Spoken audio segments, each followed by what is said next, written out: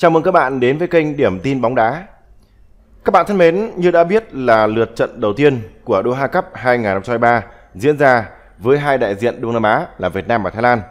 Trong khi đội tuyển U23 Thái Lan xuất sắc cầm hòa hai đều trước nhà đương kim vô địch Ả Rập Xê Út thì Việt Nam của chúng ta đã ra quân với trận thua 0-3 trước đội tuyển U23 Iraq. Ông Garcia, cựu huấn luyện viên đội tuyển U23, U19 và U20 Thái Lan, mặc dù không còn làm việc ở Thái Lan nhưng cũng đã nhận lời trả lời báo chí ở xứ sở chầu vàng. Nhận xét về trận hòa của voi chiến trước nhà đương kim vô địch U23 Ả Rập Xê ông Garcia cho biết đây là những cầu thủ trẻ, giàu tiềm năng của bóng đá Thái Lan.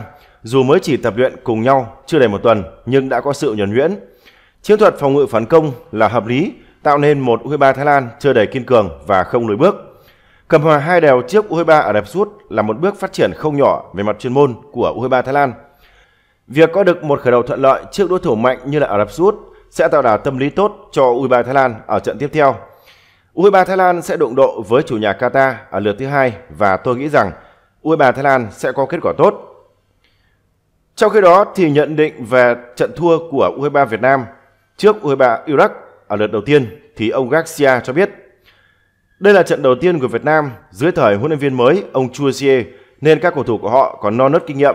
Bên cạnh đó, việc phải thi đấu thiếu người cũng khiến cho họ gặp khó khăn trước Iraq. Ngoài ra thì ông Garcia cũng cho rằng là điểm rơi phong độ của cầu thủ Việt Nam hiện nay là cũng chưa tốt. Kết quả thua không nói lên nhiều điều bởi sự chuẩn bị đang ở giai đoạn bắt đầu. Ông Chusie mới ngồi vào ghế nóng đội tuyển U23.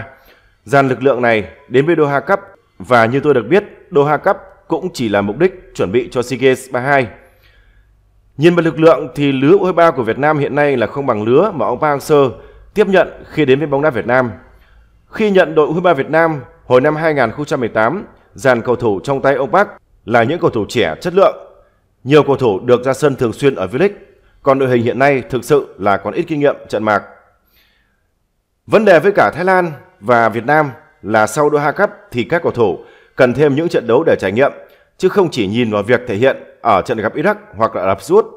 Yếu tố thiếu kinh nghiệm là điều cần thiết với các cầu thủ trẻ. Các bạn thân mến, Việt Nam đã thất bại trước Iraq khiến cho ngày ra mắt của ông Chu Xie là kém vui. Tuy nhiên thì một trận thua chưa thể nói được điều gì về chiến lược gia người Pháp. Nhìn vào tỷ số và cái cách chơi của U23 Việt Nam trong thất bại trước U23 Iraq tại lượt trận đầu tiên ở Doha Cup 2023, rõ ràng khó mà không ái ngại cho huấn luyện viên Philippe Chusier. Việt Nam chưa chứng minh được nhiều cho đến khi mất người, mọi chuyện lại thêm tệ hơn. Các cầu thủ đã nỗ lực nhưng không tránh khỏi tâm lý dẫn đến ba bàn thua theo cách khác nhau. Điều đáng nói, những bàn thua này xuất phát từ sự trạch choạc của hệ thống phòng ngự thay vì là do Iraq hay hơn. Và những gì nhìn thấy ở trận giao quân này là cơ sở để âu lo. Đặt lên bàn cân so sánh về năng lực kể cả khi đủ người, U23 Việt Nam cũng chưa chắc tránh được trận thua trước Iraq, trừ khi chơi theo cách của ông Park Hang-seo, có nghĩa là cố gắng phòng ngự, giành dập cơ hội. Nhưng nếu chưa theo cách đó, U23 Việt Nam chỉ có thể giành kết quả tốt, còn lại những mong muốn nâng tầm hay là chơi thứ bóng đá đáng xem hơn thì có lẽ sẽ không xảy ra. Ông Philippe Chuose hay là giới chuyên môn lẫn người hâm mộ chắc chắn là không muốn đội tuyển U23 chơi như vậy bởi đi ngược với mục tiêu vào lúc này của thuyền trưởng người Pháp tức là nâng tầm các cầu thủ lên cao hơn. Thế nên thua 0-3 hay là 0-1 thực tế là không có gì quan trọng, nhất là khi giải đấu chỉ coi như là cơ hội để giành quân với đội tuyển U23. Các học trò của huấn luyện viên Philippe Chuese thất bại khiến cho màn ra mắt của huấn luyện viên người Pháp là kém vui, nhưng kết quả là rất dễ hiểu nếu nhìn vào diễn biến ở trên sân, thế trận và năng lực giữa U23 Việt Nam và U23 Iraq. Nhìn vào đây thì cùng lúc phải thấy rằng là U23 Việt Nam với quá nửa số cầu thủ trong đội hình còn non kinh nghiệm, chuyện thất bại là khó tránh khỏi. Chưa nói thời gian cho huấn luyện viên Philippe Chusier thực hiện các kế hoạch là còn chưa dài. Mất người quá sớm nên cũng không khó hiểu khi Việt Nam không thể hiện được nhiều điều trước đối thủ mạnh hơn bên cạnh điểm rơi phong độ dường như là được chọn cho SEA Games thay vì để đua hai cấp.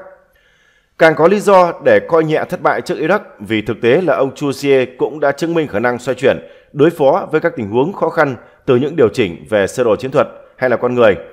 Vậy nên thua một trận, rèn quân chưa phải là gì quá nghiêm trọng với U23 Việt Nam hay là ông Philippe Chusier